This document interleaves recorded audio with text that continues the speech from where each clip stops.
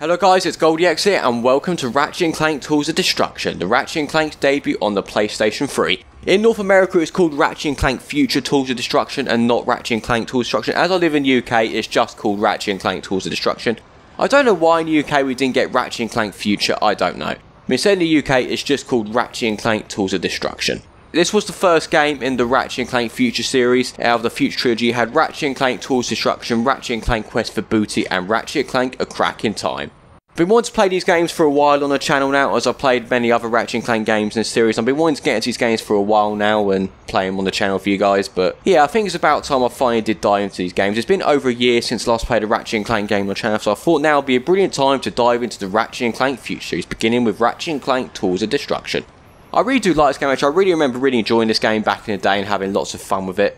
It's been a little while since I last played this, I can't remember who the name of the main bad guy was in this game. It's been a while since I last played this game, so let's dive into Ratchet & Clank Tools of Destruction. I remember really enjoying this game when I played it back in the day. Okay, let's dive into a new game.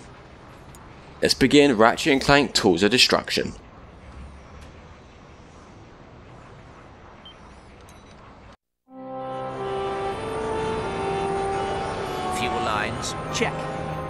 Horizontal stabilizers, Check. ion thrusters. Looks like we got a tailwind. If we time it right, we can ride the slipstream of the grav train past the sea grid traffic. Ahem. Launch the mag grappler onto that pedway overpass and slingshot right up to. Ratchet. The thrusters are fine, Clank. See? Don't worry, it's probably just a fused ion duct. Incoming message from Captain Quark. Ratchet? Clank? I've uh, got a bit of a situation here at the Planetary Defense Center. Nothing I can't handle, mind you. Just a few thousand heavily armed robotic commandos, but I figured, hey, if you were in the neighborhood, maybe. Wait! Aren't you handsome to die? Heavily armed robotic commandos. When aren't they heavily armed? Are you sure this is functioning properly? You worry too much. Planetary Defense Center, here we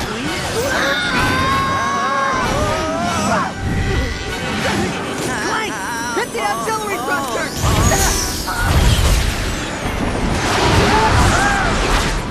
You alright? Watch out!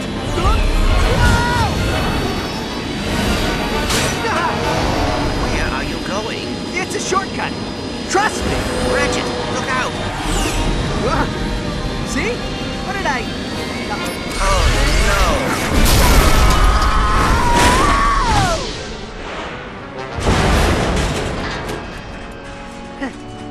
Well, looks like we're going.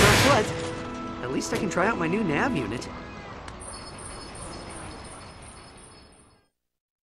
And once again, Captain Quark is under attack. Customer 91802. If you're looking to Shut up, bitch! Yeah, go away, Gadgetron. I know how to use Gadgetron. I've used it many times before. Okay, before we go any further, though, I want to quickly enable the subtitles. Apologies, I didn't have subtitles on in that cutscene. Okay, there we go. Double check it's on. Yep, nice. Okay, there we go. Subtitles are finally on. Sorry they weren't on at the start of the game. Okay. And not it's not just Captain Quark that's under attack as well. We've now also got Metropolis under attack as well. Who would attack a beautiful sea like this?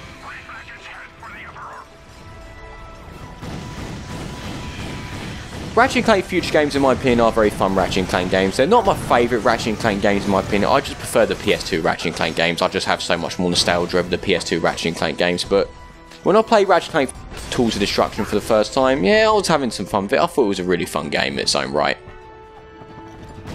What's interesting about this as well was that Insomniac Games weren't just working on the Ratchet & Clank games during that time as well. They also worked on another franchise called the Resistance series as well. Which in my opinion is probably a very underrated franchise in my opinion, the Resistance series. Resistance 1, Fall of Man, Resistance 2 and Resistance 3. Insomniac Games during the PS3 era were working on two different game franchises, unlike Naughty Dog who were just working on the Uncharted series. It's a bit of a shame during the PS3 era we never got a new Jak and Daxter game, right? Bit of a shame, wasn't it? But you know, much as I love the Uncharted games, we should have really got a new Jak and Daxter game during that time, but oh well. It's in the past now, I'm not going to complain. But it's cool that Insomniac Games were working on new Ratchet and Clank games as well as working on a new game franchise called Resistance. Resistance 3 is my favourite, by the way. I love Resistance 3, it's such a fun game. The Resistance games were very underrated in my opinion. I don't think they quite got the recognition they deserve, especially considering they were developed from Insomniac Games. Okay, I should get some nanotech. I think I'm good for nanotech. Yeah, I am. I thought I lost some nanotech back there. Oh well. Okay, let's go and make our way to Captain Quark. That's if he's even in Metropolis, but guess we'll find out. Captain Quark, man, you really need to learn how to defend yourself. Quick select menu by holding down the action button. He's meant to be a superhero for Christ's sake. He's not meant to be scared of little enemies like this. That's if, that's if, well, we don't know what exactly he's under attack by, but I guess we're going to find out. If it's just all enemies like this, he needs to really man up and learn how to be a real superhero. We saw in previous Ratchet and Clank games, he's not really a superhero, he's just a phony. We shall know that by now.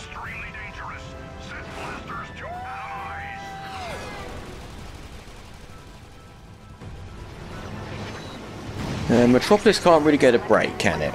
Metropolis is always under attack by something. It's just a shame it is such a beautiful world. Also, I'd rather live on a planet that's full of beaches and ladies, but you know. It's a cool planet though, I do love the futuristic urban look of this, especially because I do love tall buildings and love climbing, so yeah.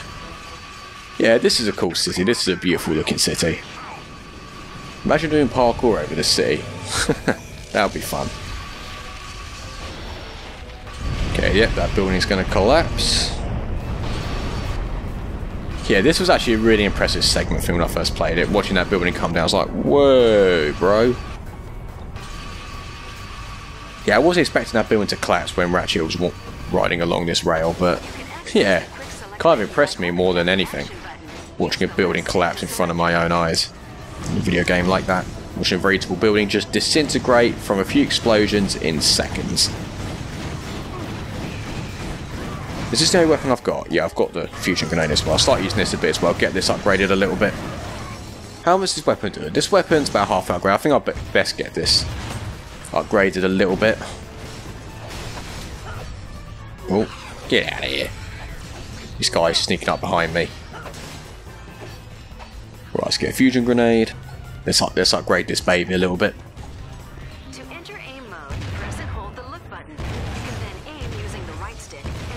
I don't know whether to disable tutorials and that, but I don't know. There may be some tutorials I might need a bit reminding on as we play through the game, so I might just keep them on anyway, just in case. You never know, it may come in handy. Although obviously I know how to use like the Gadgetron, that kind of thing, but there may be some tutorials a bit later on I might need a bit of reminding on, so I think I'd best keep them on.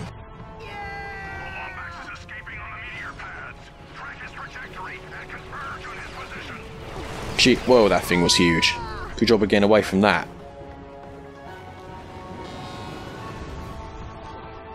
I really do love Metropolis though, it's such a beautiful city.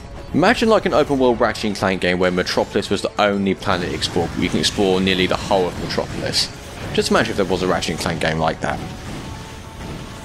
I mean, that would be a cool Ratchet and Clank game to be fair. I think some people would be a bit disappointed if a game like that did come out, especially if Metropolis was the only planet explorable. I mean, Ratchet and Clank is known for how many planets, for exploring loads of different planets now, but just imagine an open world Ratchet and Clank game we could just explore the whole of Metropolis, and we've got another building collapsing right in front of us. Who would wreck such a beautiful city? This is going to collapse, isn't it? Yes, it is. I'm getting out of it quick. Ratchet, the sky bridge is collapsing. I know. So I might just get a grenade out. Get these things out of my way before things go from bad to worse, before I do end up falling to my death.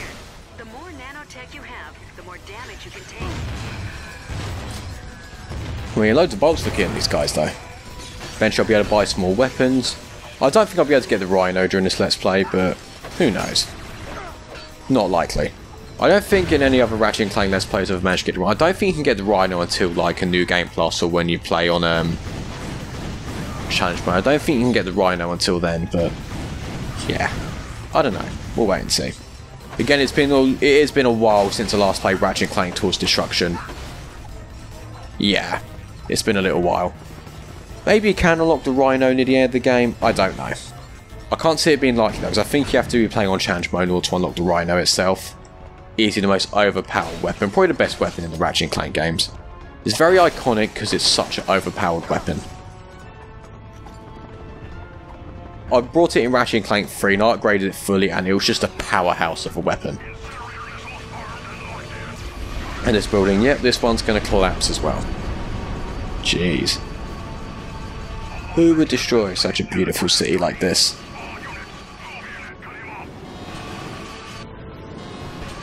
I just hope Captain Quark's on this planet somewhere. Something tells me he's not on this planet, but I guess we're going to find out. If not, it's going to be waiting a while till we rescue him. Oh, got to be on this one. Almost fell to my death then.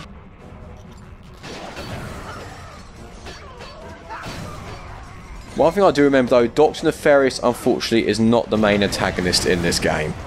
There was a new, different antagonist Insomniac introduced into this introduced in the Ratchet Clank series for this game.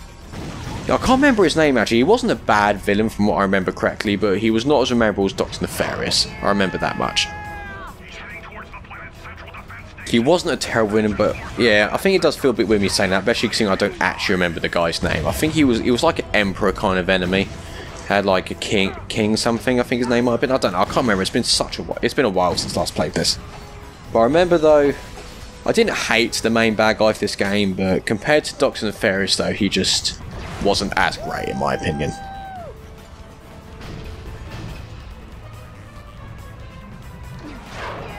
Ratchet, the Planetary Defense Center is 200 cubits below us. How do you propose we get down? I don't know. I'm kind of winging it right now. This is a really weird camera angle. Playing a Ratchet Clank game, but I'm not going to complain.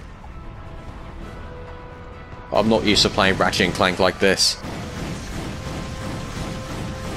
I'll get some nanotech, or I don't even need it. It's good. Well, best just get out of here quick. I think I might just leave these enemies. I don't know where to leave these enemies or not. I don't know. Well, there we go. V2, got my pistol upgraded. Very nice. It's nice upgrade your weapon. It gets, I think, This was actually, come to think of it, this was actually the first Ratchet and Clank game that introduced um, Raritanium. What you can use to upgrade your weapons, upgrade like the damage and the weapon, the ammo count and all that kind of thing. Yeah. Quite a nice mechanic they introduced into the game. I've got to tilt the controller. Oh, I hate things like this. Tilt the controller to steer through traffic. I didn't like this on the PS3 to be honest when you had to tilt the controller. It's like with Uncharted Drake's Fortune when you had to walk along the um those like along those branches and wooden planks and that you had you would have to tilt the controller to keep it balanced and honestly I'm in the PS4 remaster I'm happy they scrapped that.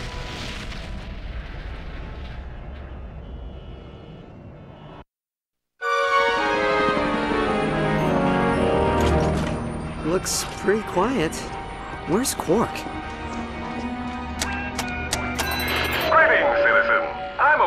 Post at the Planetary Defense Center. Please enter the number that best describes your emergency. If you are being attacked by radioactive amoeboids,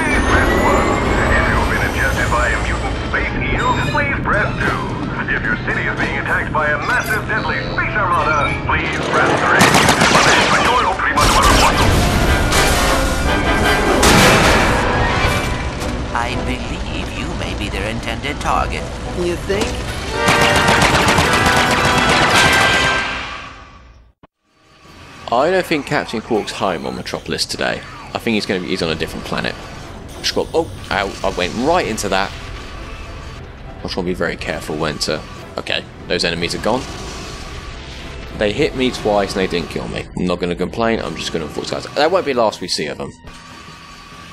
Go there back again.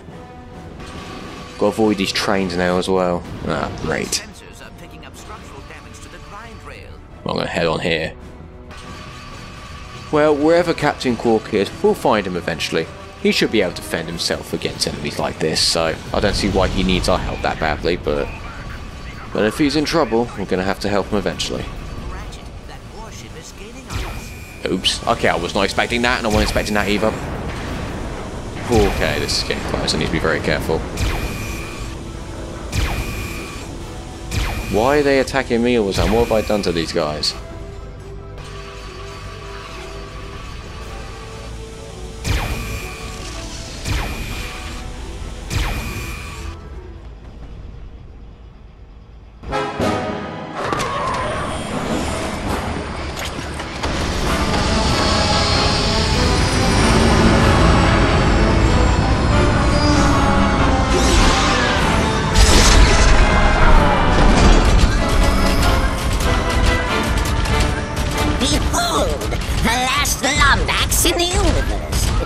Truly a pathetic specimen of the race, I'm afraid. So weak. And you are? Emperor Percival Tachyon, Crown Prince of the Cragmites, Conqueror of space and time, and, pending the obliteration of a few insubordinate species, ruler of the universe. Your name's Percival? Emperor! See the crown, see the scepter, the giant walking throne and legion of royal robotic commandos? Emperor! Not that a treacherous furball like you could. What's this? such a primitive robot companion. And your kind used to be such renowned engineers. Oh, I'd be careful if I were you. He's got posomorphic blaster cannons in each fingertip. My gripe is not with the people of this arcade planet, but with you. Surrender your deathbot. And simply allow us to kill you. No one else need be harmed. Fair enough. Here you go!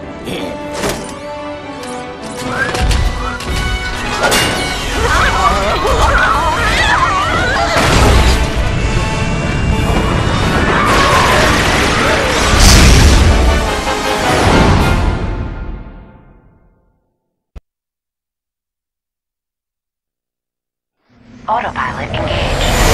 Whoa! Hang on, Clank! Hyperspace boosters online. Engaging cryosleep. Cryosleep? Nah, no, no. There's no way I'm gonna. It is fortunate cryosleep does not work on robots.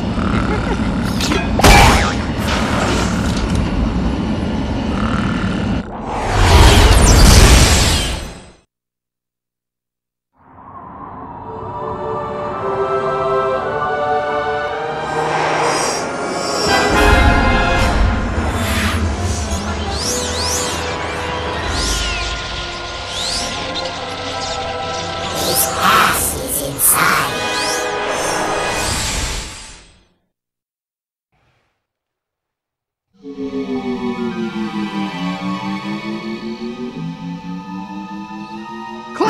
Clank! Are you okay? You got knocked out there for a minute.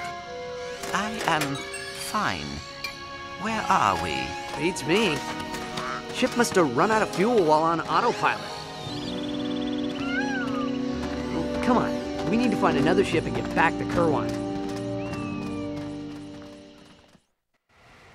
Yes, we need to get to back to Metropolis soon. So we're stuck on this mysterious planet. I'll find the name of it? Planet Cobalia. So back there we met Emperor Percival. Oh, I forgot his name already. Anyway, that's the Emperor, the main bad guy of the game. We just met the Emperor. Yeah, I don't know why he wants to attack Metropolis so badly or what he wants of us, but I guess we're going to find out. So I think I'll save this planet off for next episode because, yeah, this looks like a very interesting world, doesn't it? I think I'll save this off for the next episode.